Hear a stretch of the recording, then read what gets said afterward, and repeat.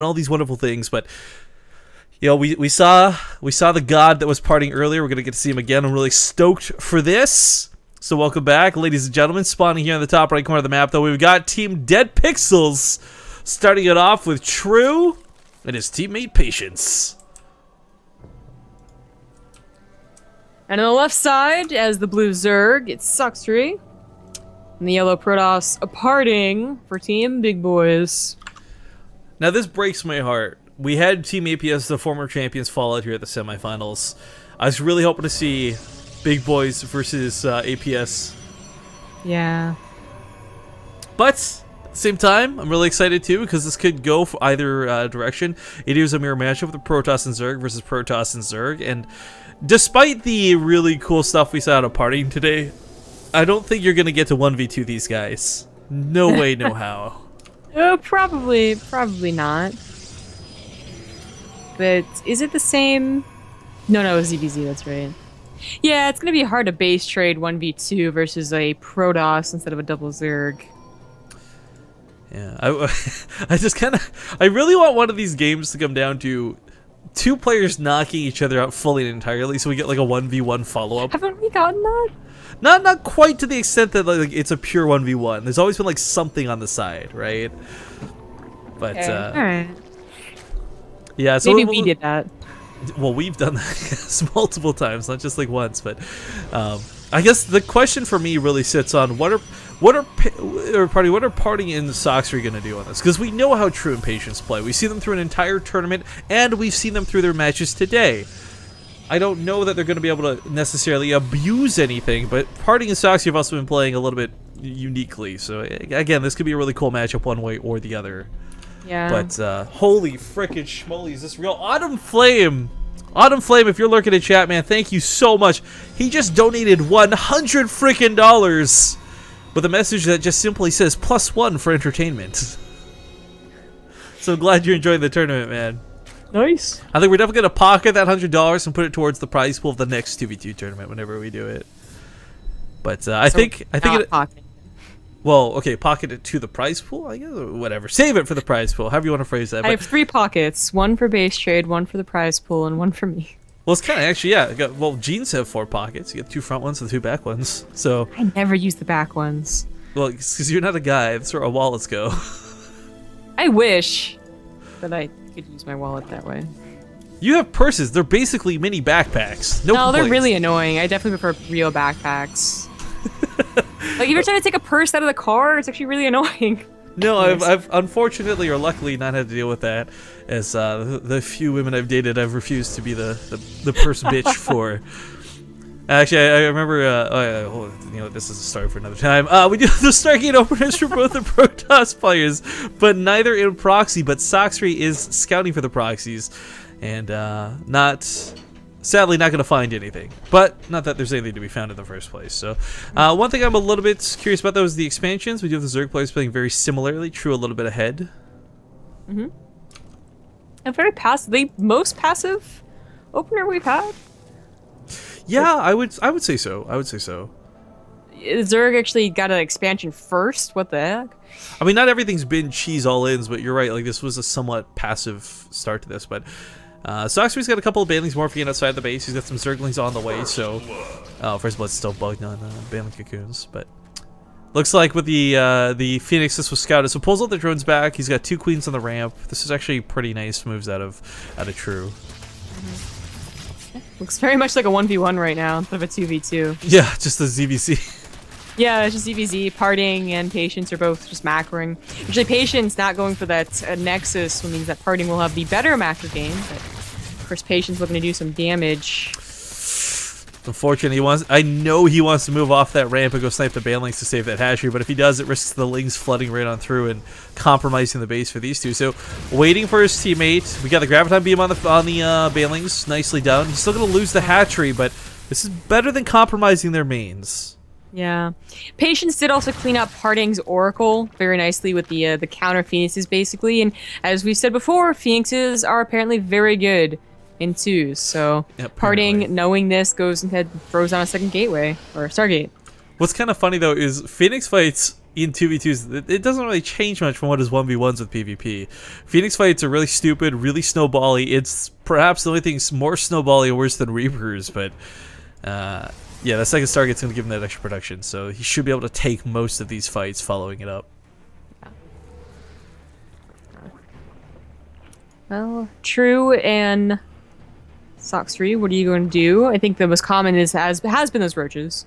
Just roach versus roach, to kind of the know, they're easier just to, to help brute force with your, your partner than, you know, delicately playing with the mutas that we saw Revival do last game. And continued aggression from Sacsri might still work out. Three banelings versus three. The Graviton Beam's really nice. I still expect that Baneling to explode in the air and deal damage to the Phoenix. It kind of actually bothers me that it doesn't, but Really? Hmm. kind of like a Scourge, you know? If you if you lift it up, it's like picking up a bomb, right? That's not a good thing. that's True. True. Well, Patience finally expands, but he is losing out on the Phoenix War, is he not? Seven versus oh, only six now, he- but soon enough he should be. He doesn't know about the second Stargate though, so it kind of makes sense. He he feels like he's producing enough, and it would normally be enough in most situations. And uh, the problem is, even if you go for the Anion Pulse Crystal upgrade, the speed is going to be matched. So if Parting starts off in range of Patience, he's going to stay in range Oh. of Patience. And now True's actually, with that Overlord, scouts the crazy Phoenix count. He sees the Stargate. Oh, but he doesn't see the second one. How did he get so far in there? I, I think it was like sitting back here the whole time, maybe chilling. I don't know, but um, yeah, this is this is gonna be very awkward because we're gonna have better phoenixes out of patience, but he's not gonna be able to abuse that range. Is the problem? I'm fairly sure that the range is just the Kingmaker. Like, I don't think it, will be. I I think so. It's been a long time since we've seen so many PvPs where I can say for sure that was really just PV Pro League like two years ago. Well, the idea is okay. If he starts off out of range and perfect control, there's no mistakes, then yes. But I feel like this is gonna be very similar to what C versus Mutalisks, right? Where you'll stop and churn, stop and churn, and then you'll be in range and you'll stay in range because Phoenix speed's gonna mm-hmm. match Phoenix speed. And I think Mass Phoenix is, is going to outproduce or outmatch better Phoenixes. And in fact, Parting's not even that far behind. His Fleet Beacon's on the way. He's going to have Anion Pulse Crystals as well. I've n- We've never seen a PvP go to this point. We've never seen a 2v2 go to this point. So this is kind of cool to see how this is going to play out. Yeah, the last PvP that we saw, uh, you dropped out or something, and it was Phoenix versus Phoenix, and it did end, you know, a lot sooner than this one did. You know, only uh, 10 versus 10 Phoenix or something like that, not 15 plus. You know, it'd be perfect if we did have like four or five corruptors come out of Sacsri and play this kind of like give parting control and play Wait, uh no, no, Rifkin, I don't think Zerg remembers that they have corruptors. Remember? right 2v2 is my bad. Yeah. But I was gonna say, it, would- it would be cool. It would be cool. Uh, now, we did have an attempted baneling attack into the middle line of Sacsri. Sorry, we just barely missed that, but it did not kill much, if anything, so uh, really not too bad. Hmm. Well, we're not going to see the test of more versus better in this game. We're going to see a difference in upgrades, too. I'm pretty sure upgrades don't really factor into Phoenix fights at all. That I do not know, but it is funny. I have one go for plus one and one go for plus Well, it's because one armor. it's because the bonus damage is plus five. If the bonus damage is plus one or plus two, that's yeah, like a little bit. That's I think where the upgrades come in. But I think it's actually you take a full level three weapon upgrade before it really comes into effect. But even then, you're right. Like there's gonna be armor, so it might not even matter. True, by the way, making sure there's no ninja bases taken, nothing cheeky going on.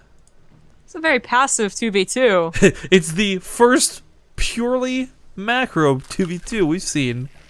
Didn't sign up for this. Man, more action. Uh, what is kind of crazy though is it is I feel less about the Protoss players, despite the fo- the focus on the Phoenix, and a lot of this is going to come down to the Zerg. Yeah, that's right. The Zergs are doing pretty much the same thing. Although- uh, Sacsri's getting Burrow, Tunneling Claws. I do feel like if this snowballs out of control, both ways have similar Phoenix counts. If this snowballs out of control, uh, we might then have like 10 Phoenixes say Graviton beam up 10 Roaches or something. That's that's a whole nother can of worms. But uh, despite the fact that Party had more Phoenix production, Patience has found a way to catch up, and he's actually not too far behind. But similar to Mutalisk Wars, I think numbers is going to be what, what is key here. And actually, Parting, he's stacked up. If There's no concaves when it comes to these fights, guys. They're gonna look really, really super dumb. Now one of the Zergs Oh. could try and go for Oh. Infestors. This was actually kind of key. He could have tried to defend the roaches, but he gets on top of Patience while Patience was graviton beaming, so the attention was lost. The Phoenix was spread, and now Party has a three Phoenix lead. Uh, I'm really surprised the Zergs aren't helping them out. Where are the Hydras? Okay, the Hydras might be picked up, but where are the Infestors? Because even if the Infestors are picked up, hopefully they get their Oh, fungal God. on first. Yeah, fungal growth would be so sick. But Party being very careful. He doesn't want to. doing it. Parting both three Phoenix at a time. Both players have production at the wazoo, and it's. I feel like we are gonna see like a maxed out Phoenix army versus a maxed out Phoenix army at this rate. Stop. Well, Sacsri's Roach is looking better than True's. He's got the upgrades. He's got the Roach count. Uh, he's got the, uh, of course, the Tunneling Claws as well. But What? They both of them didn't go for the gold base. Yeah, Also, the first time we've seen this. because the Phoenix can't lift up the rocks. uh, Parting Space is going to die. The Roaches are going to just chew through those cannons. And as he turns around to go fight this at home, he's got to be careful he doesn't get intercepted by those Phoenix. Looks like Patience is going to get on top of the production and start camping this out. And that's going to be a little bit devastating for Parting to deal with. But the Nexus dies. Ooh, that's going to sting. yeah, well, it's a base for a base. Yeah, true enough, but it's a Protoss base for a Zerg base, so which one hurts more? Uh, Parting, by the way, does still have a Uh. Phoenix lead. This is what I imagine Star Wars looked like. Star Wars? Why? Just because, you know, it's like all the X-Wings and TIE Fighters going nuts on each other. It's like X-Wing versus X-Wing.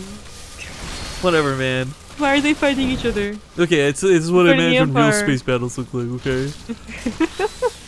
now, Dude, this we were is actually... the, uh, I, I gotta give credit to Sacsri. He's been playing the ZVZ portion of this really well. This hasn't really been a 2v2 Mm-hmm. so much as it has been a 1v1 aside another 1v1, but we've had Patience has been actually picking up a few roaches this game and he's killed some, whereas Parting hasn't really been contributing in the same way, but uh, this is such a weird game, Zombie Grove. Like I said, I think this will come down to the Zerg players, and if that's going to be the continued case for the game, Sacsri has been playing this out a lot better, a lot more efficiently. Uh, Sacsri is the first to go out, try and go up to Hydralisk, you should say, because if he can't afford to get a lot of Hydralisk and keep them all bundled up, the Phoenixes, all it takes is five seconds and they will kill them, no problem. But he's gonna try. And, I mean, eventually this has got to come to a head, right? Like, they both have to fight each other just in the middle. At some point, a fight has to happen, correct? Yes, exactly. It's just not happened so far. In fact, True is now the highest army supply, just maxing out on those roaches. I'm still surprised there's no Hydras or, well, more importantly, Infestors. Because I, Infestors, I feel like Infestors would definitely contribute to the Roach Wars. They would super help the Phoenix fight. I mean, if for no other reason, that, that 30 damage the fungal growth does could be what you need to just snowball an army out of control. Yeah. Oh, you know what I forgot? Oh, Patience hasn't, though. Guardian Shield affects air.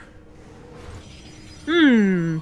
Guardian Shield will help these Phoenix fights. I think it's two damage reduction. That's a lot of damage.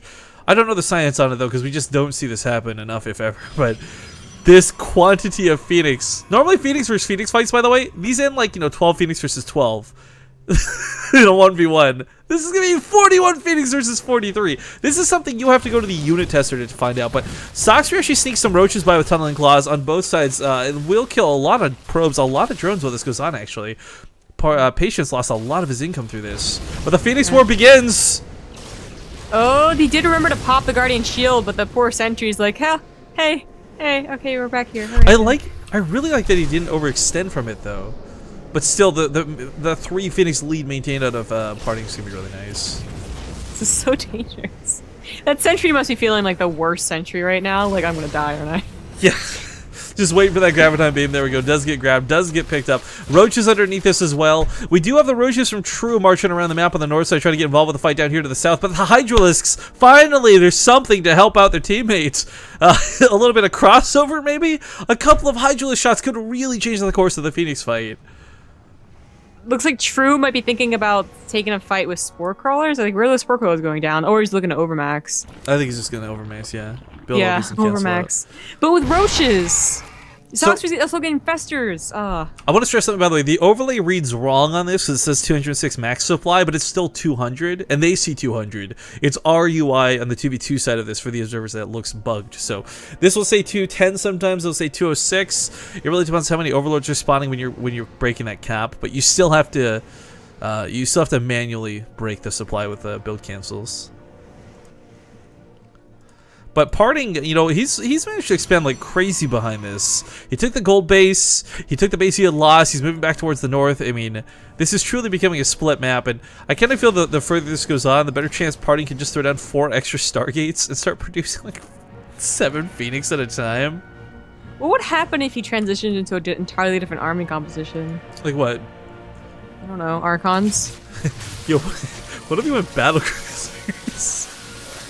Uh, Rifkian? I don't You think. mean? Okay, sorry. Well, what if he went battle cruisers though? I mean. I really couldn't tell if you were trolling me. No, I messed up. But the uh, the the fungal growths I think are going to be what wins this game more than anything else. This, this was a long, weird macro 2v2, but I think Sacsri's fungal growths are going to be the kingmakers here. Not for the roaches, but for the phoenix. And if the phoenix go down, Parting will pick up every roach on the ground. Now the phoenix fight is just going shredding. It's so far the favor of of Parting. It's not even funny. He is just devastating this. The snowball effect is very real. The Hydra is getting involved with the fight too. He wins the Roach War on the ground. True backs up with the Roaches. But as the Phoenixes start getting wrecked, Party can come with with 27 Phoenix, he can lift up every single Roach on the map from True. He's done it. Ah. Parting's done it. Well, Sacsri did it, I think, technically, but They done it. it. Yeah. Team power! Sacsri really had the better unit composition. He had enough Hydras that were never picked off, and he also went up to Infestors. Like, True, I think I think failed Patience more than the other way around or whatever for the other team. Like, Yeah, I would definitely agree with that. Not failed, but they just. No, know. Patience is in Skype right now saying, "True, you have failed me. You failed me for the last time, Starscream. We're kicking you out of the team." God, Phoenix fights are so dumb. Yes, yes, they are. Well, we finally have some fungals coming out of True, but it's a little bit too late. I mean, that's I think that's the problem with this game. There's a lot of there was definitely a lot of tunnel vision from both sides for a long time. But Team Big Boys, they're gonna take game number one in the semifinals. That game did not catch my cannonball.